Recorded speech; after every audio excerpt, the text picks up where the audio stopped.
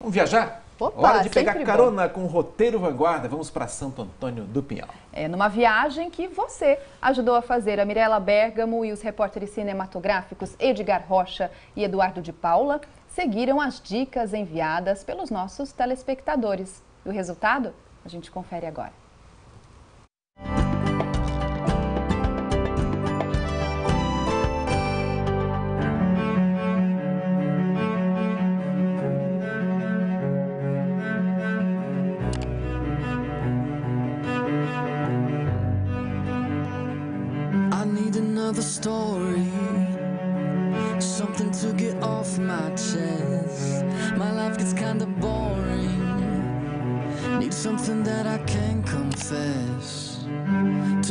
Sleeves I stained red from all the truth that I've said. Pela primeira vez, a equipe do Roteiro Vanguarda veio para a estrada de carona. Dessa vez é você que está na direção dessa viagem. A começar pela escolha do nosso destino. Tá lembrado da votação? Vamos clicar aqui então para saber qual foi a mais votada por você aí de casa. Olha, tá aqui, ó, Santo Antônio do Pinhal, então foi a escolhida pelo público. Pois é, então como foi prometido, aqui estamos nós, em Santo Antônio do Pinhal.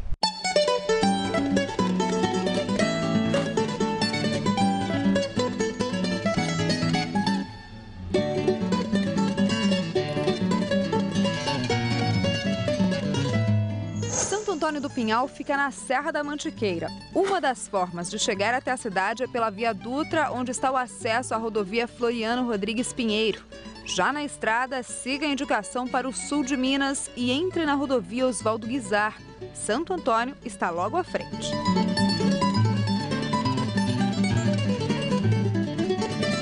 Uma cidade que, como dizem por aqui, tem só uma rua para ir e outra para vir. É, são só 6 mil habitantes e muito sossego. Um lugar ideal para quem quer descansar. Mas não pense que é um desses lugares sem muito o que fazer. São diversas atrações escondidas, principalmente na zona rural. Olha, a gente recebeu diversas recomendações aqui pela internet, fotos de lugares para a gente visitar. E o local mais pedido foi o principal cartão postal aqui da cidade, o Pico Agudo, que também é um dos picos mais altos do Brasil. Ó, essa foto aqui foi enviada pela Priscila e pelo Vinícius de São José dos Campos. Eles dizem que ficaram impressionados com os atrativos que uma cidade tão peculiar pode oferecer.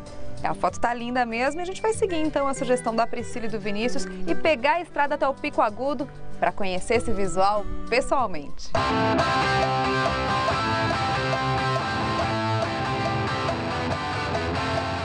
caminho do pico, decidimos seguir mais uma dica: um café muito especial que ficaria na estrada. Bom, pela indicação que a gente recebeu, o lugar é esse aqui, bem bacana, né? No meio das montanhas. A gente vai entrar então para descobrir o que, que esse café tem de tão especial. E logo na entrada, essas peças de cerâmica mostram que o lugar, na verdade, é um ateliê, onde o barro é transformado ali mesmo entre os clientes. E entre uma peça e outra, a Cíntia serve o café. E daqueles de coador. E também tem bolo de vó, como ela gosta de chamar. Quitutes que ela mesma faz. Então quer dizer que as pessoas vêm aqui para tomar um café e aí param aqui, acompanham seu dia de trabalho. Dá uma olhadinha na produção, na cerâmica.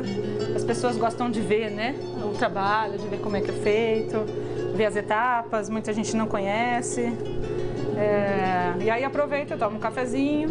E o processo é feito todo mesmo aqui, o torno, Feito aqui, forno. a partir do come... isso, a partir da modelagem da peça, tanto faz no torno, ou numa placa, ou na mão, uma escultura. As pessoas curtem, né?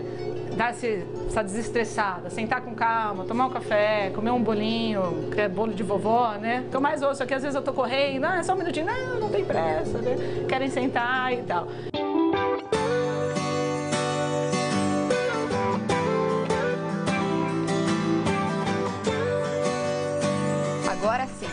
Preparado para enfrentar o pico agudo.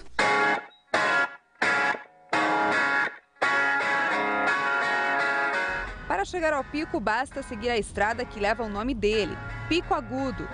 São cerca de 5 quilômetros em estrada de terra até a base.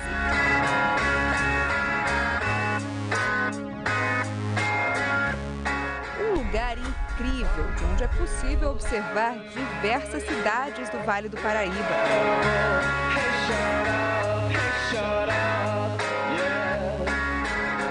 É, mas além dessa vista aqui, que a gente poderia passar horas, o Pico Agudo também é uma excelente rampa de voo livre. Por isso, nos fins de semana, é comum a gente sempre encontrar uns instrutores por aqui. E aí, dá voo hoje? Olha, tudo indica que sim. Já tem um pessoalzinho voando, vai ser um ótimo dia de voo. E aqui quanto tempo de voo para a gente sobrevoar aqui? Ó? Olha, o mínimo de voo, de tempo de voo vai dar aqui seus 15 minutos. E qual é a restrição para voar? A restrição para voar seria mais as condições de saúde, né? Joelho, coração, as condições ósseas, né? Porque o pouso, tanto quanto a, principalmente no pouso, pode forçar um pouco a, essas regiões. Então, se a pessoa tiver uma certa limitação, é bom falar antes do voo. Qualquer peso também ou não? Oh, qualquer peso, na verdade qualquer peso. Nossos equipamentos são bem grandes e não há limite de peso. É, só que dessa vez não sou eu que vou não. Vou passar esse desafio para o nosso cinegrafista. Topa? Então vamos lá, vamos trocar de lugar.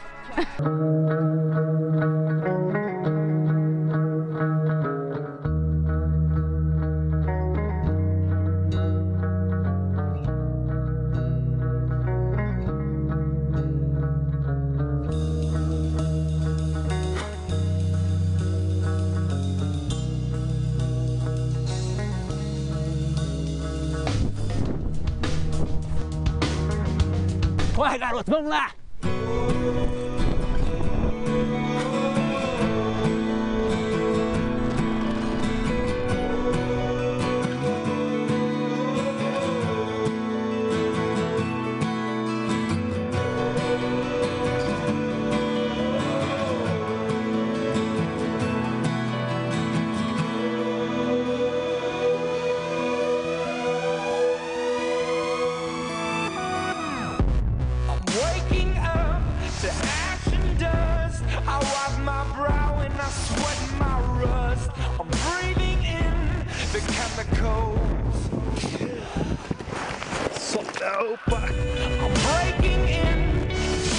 E aí, foi com emoção ou sem emoção? Ah, é um pouco de emoção, adrenalina no começo, mas é, é muito calma a descida, na- até na, na própria saída, como que chama? É marinheiro de primeira viagem. Foi sem emoção, foi um voo básico, chegamos baixo, mas não- por isso não deu para fazer a- as emoções, uma espiral, então até mesmo um engover que a gente chama, né? Mas foi um voo muito gostoso, alto, né? Bom, depois dessa adrenalina, então, o que que você acha de um passeio mais calmo agora? Acho bom. Bom, pra né? Alguma coisa. Vamos procurar. A gente tem uma recomendação aqui do Matheus Fernandes e ele está indicando aqui um pesqueiro onde também funciona um restaurante. É, pescaria acho que combina então com esse momento tranquilo, né? Você combina. Vamos lá procurar esse pesqueiro As então. borboletas voam sobre o meu jardim. São cores vivas, pousam sobre as onze horas. Nas rosas claras, violetas e jasmins. Eu adoro pescar porque eu- desde a infância, eu sou do interior, eu sempre pesquei com meu pai. Então eu procuro num lugar que eu possa relembrar os bons momentos que eu tive em família, né?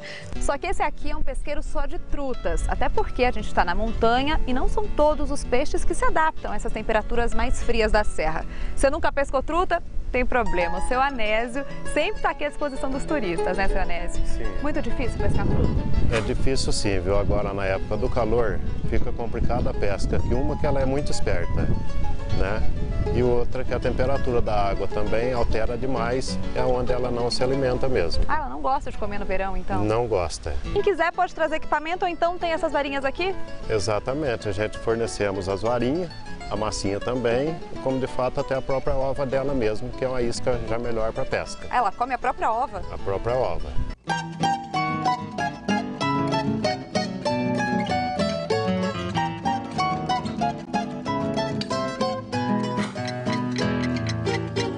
Aqui vai ser difícil a gente conseguir pescar a truta. Tem algum lugar mais fácil, Anésio? Tem sim, tem o tanque lá embaixo, inclusive é mais para as crianças, né? Para não ter perigo de cair no lago, essas coisas. Aí lá fica bem mais fácil a pesca sim, porque tem os degraus, né, que bate mais a água, oxigena mais. Então lá já é bem aprovado você conseguir pescar sim.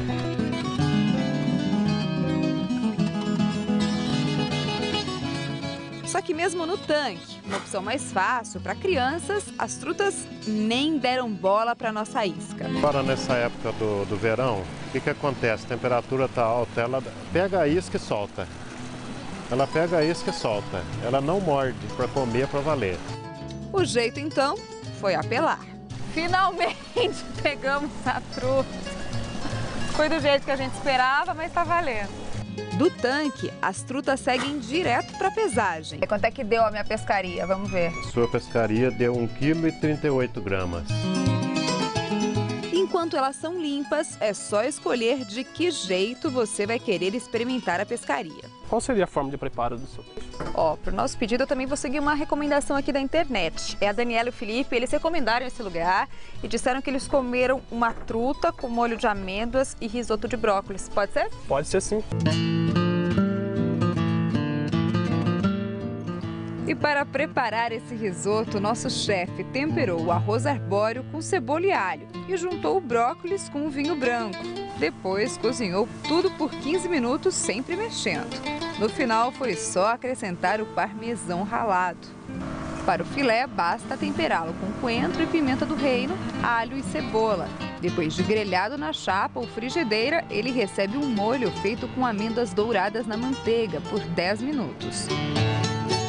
E aí está o nosso prato, sugerido pelos internautas. E com o restante da truta, ainda preparamos outros dois, os mais pedidos do restaurante, com molho de maracujá e esse outro, com molho de laranja.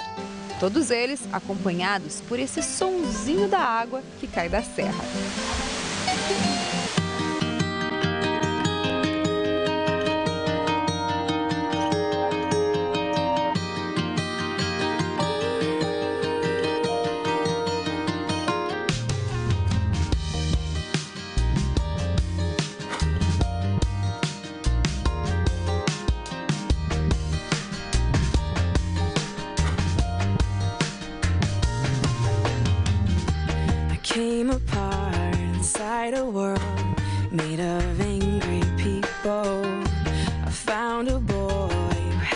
Dream, making everyone smile.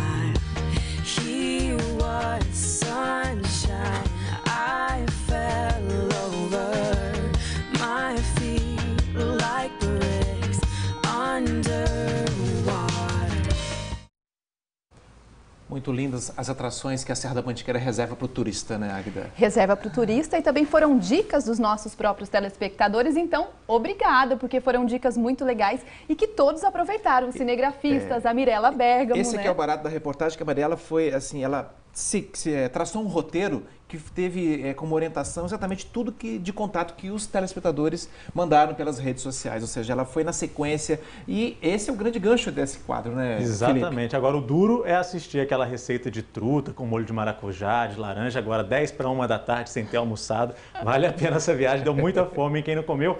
Olha, você sabe que agora quem manda no roteiro Vanguarda é você, né? Você pode escolher os destinos, o destino do próximo roteiro. A gente separou três opções aqui: São José do Barreiro, São Luís do Paraitinga e Monte Verde, em Minas Gerais. Para votar é muito fácil, tem uma enquete no g1.com.br barra vanguarda. Vota lá que na semana que vem a gente mostra o resultado dessa votação aqui no Link Vanguarda. O pessoal querendo ir para Minas também, né, Branche? Pois é, qualquer escolha vai ser bem-vinda. Tá certo. Ah, eu acho que você vai votar em Minas, hein? Ah, claro, já está votado, já está escolhido.